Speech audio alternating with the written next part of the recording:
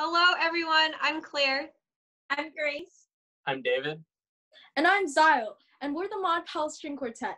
The EYSO concert is about to begin, but as an honors chamber ensemble, we're about to give you one last performance before the concert starts.